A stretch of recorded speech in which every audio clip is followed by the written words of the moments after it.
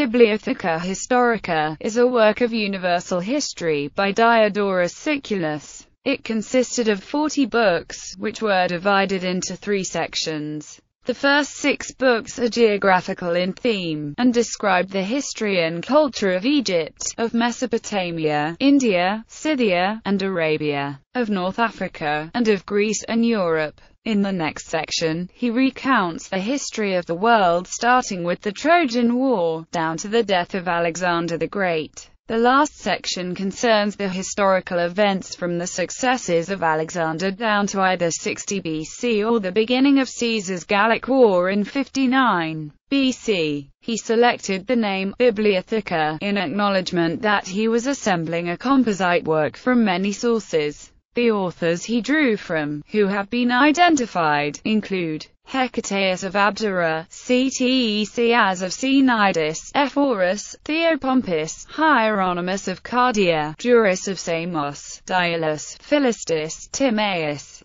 Polybius and Posidonius. Diodorus' immense work has not survived intact. We have the first five books and books 11 through 20. The rest exists only in fragments preserved in Photius and the excerpts of Constantine Porphyrogenitus. Chronology The earliest date Diodorus mentions is his visit to Egypt in the 180th Olympiad. This visit was marked by his witnessing an angry mob demand the death of a Roman citizen who had accidentally killed a cat, an animal sacred to the ancient Egyptians. The latest event Diodorus mentions is Octavian's vengeance on the city of Tauromenium, whose refusal to help him led to Octavian's naval defeat nearby in 36 BC. Diodorus shows no knowledge that Egypt became a Roman province, which transpired in 30 BC, so presumably he published his completed work before that event. Diodorus asserts that he devoted 30 years to the composition of his history, and that he undertook a number of dangerous journeys through Europe and Asia in prosecution of his historical researches.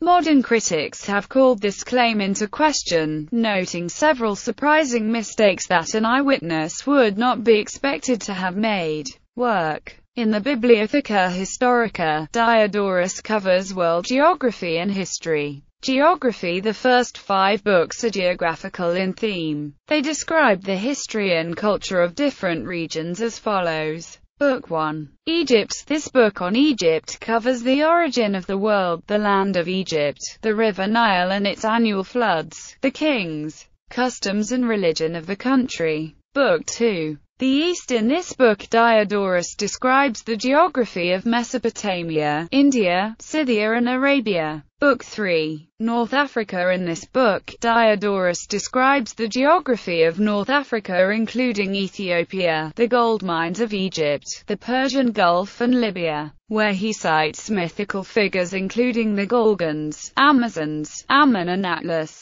Based on the writings on Agatharchides, Diodorus describes gold mining in Egypt, with horrible working conditions, and those who have been condemned in this way, and they are a great multitude and are all bound in chains, work at their task unceasingly both by day, and throughout the entire night. For no leniency or respite of any kind is given to any man who is sick, or maimed, or aged, or in the case of a woman for her weakness but all without exception are compelled by blows to persevere in their labors, until through ill treatment they die in the midst of their tortures. Diodorus mentions a mining method called fire setting to weaken and break down hard gold ores by thermal shock. The hard ores were then crushed manually and then ground to a fine dust in querns, and washed to extract the gold dust. The Book of Job mentions mining processes almost identical to that described by Diodorus, indicating a Jewish acquaintance with the Egyptian mining industry.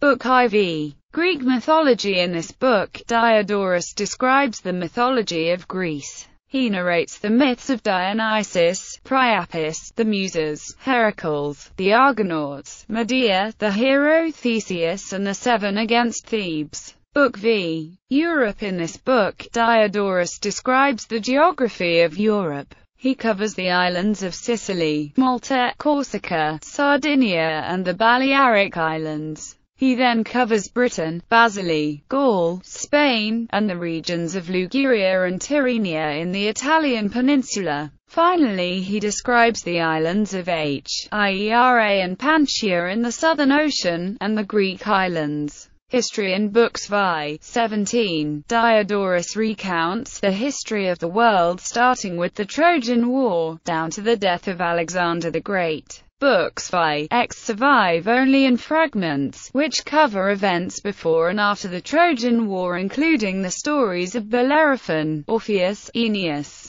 and Romulus, some history from cities including Rome and Cyrene, tales of kings such as Croesus and Cyrus, and mentions of philosophers such as Pythagoras and Zeno. Book She covers the history of Greece from 480 BC with the attempted invasion by Xerxes, and describes the Athens of the Themistocles. Book 12, from 450 BC, covers wars of Athens, including the Peloponnesian War. Book 13, from 415 BC, tells of the defeat of Athens at Syracuse, the subsequent war with Sparta, and the war between Carthage and Sicily. Book 14, from 404 BC, covers the thirty tyrants of Athens, the death of Socrates, and the capture of Rome by the Gauls. Book 15 covers wars in Greece including the Boeotian War and wars with Thebes. Book 16, from 360 BC, describes Philip of Macedon and Artaxerxes.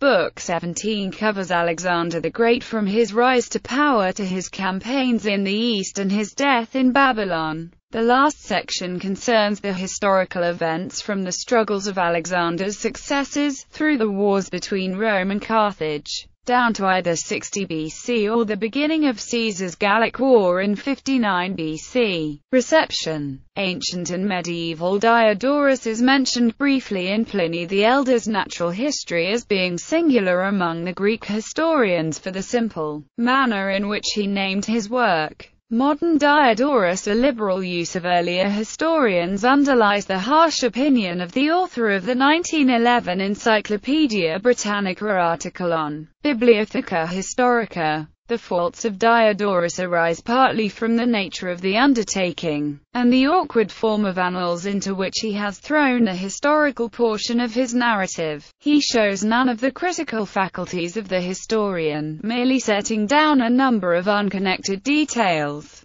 His narrative contains frequent repetitions and contradictions, is without coloring, and monotonous, and his simple diction, which stands intermediate between pure Attic and the colloquial Greek of his time, enables us to detect in the narrative the undigested fragments of the materials which he employed. As damaging as this sounds, other more contemporary classical scholars are likely to go even further. Diodorus has become infamous particularly for adapting his tales ad Maiorem Graecorum Gloriam, leading one prominent author to refer to him as one of the two most accomplished liars of antiquity. Far more sympathetic is the estimate of C.H. Oldfather, who wrote in the introduction to his translation of Diodorus. While characteristics such as these exclude Diodorus from a place among the abler historians of the ancient world, there is every reason to believe that he used the best sources and that he reproduced him faithfully. His first book, which deals almost exclusively with Egypt, is the fullest literary account of the history and customs of that country after Herodotus. Books EV cover a wide range, and because of their inclusion of much mythological material are of much less value. In the period from 480 to 301 BC, which he treats in analytic fashion and in which his main source was the universal history of Ephorus, his importance varies according as he is the sole continuous source, or again as he is paralleled by superior writers to the 50 years from 480 to 430 BC Thucydides devotes only a little more than 30 chapters. Diodorus covers it more fully and his is the only consecutive literary account for the chronology of the period. For the years 362-302 BC Diodorus is again the only consecutive literary account, and Diodorus offers the only chronological survey of the period of Philip, and supplements the writers mentioned in contemporary sources in many matters. For the period of the successors to Alexander, 323-302 BC, he is the chief literary authority and his history of this period assumes, therefore, an importance which it does not possess for the other years. Editorial history the earliest extant manuscript of Bibliotheca Historica is from about 10th century. The Editio Princeps of Diodorus was a Latin translation of the first five books by Poggio Bracciolini at Bologna in 1472. The first printing of the Greek original contained only books 16 to 20, and was the work of Vincentius Opsopoeus. It was not until 1559 that all of the surviving books, and surviving fragments of books 21 to the end were published by Stephanus at Geneva.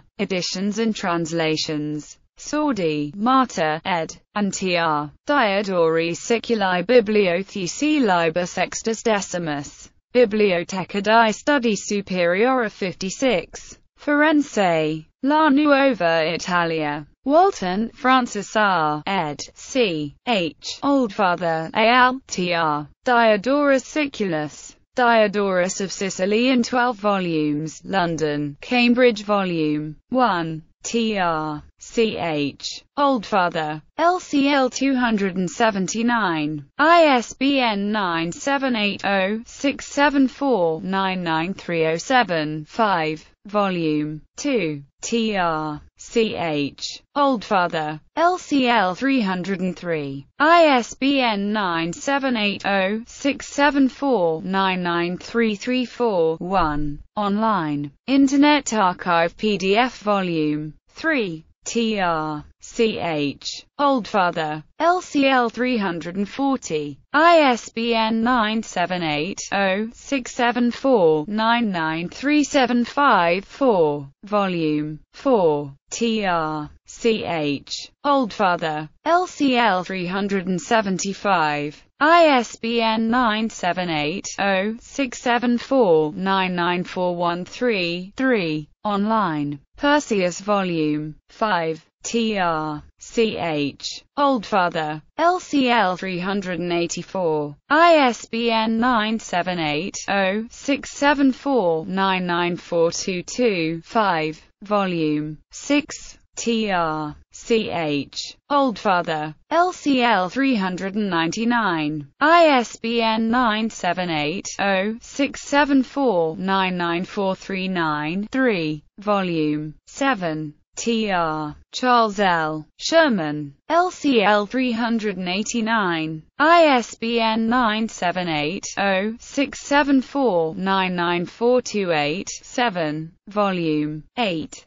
Tr. C. Bradford Wells. LCL 422. ISBN 978-0-674-99464 5 Volume 9. Tr. Russell M. Geer, LCL 377. ISBN 978-0-674-99415-7. Volume 10. Tr. Russell M. Geer, LCL 390. ISBN 978-0-674-99429-4. Volume 11. Tr. Francis R. Walton. LCL 409. ISBN 978-0-674-99450-8. Volume 12. Tr. Francis R. Walton. LCL 423. ISBN 978-0-674-99465-2.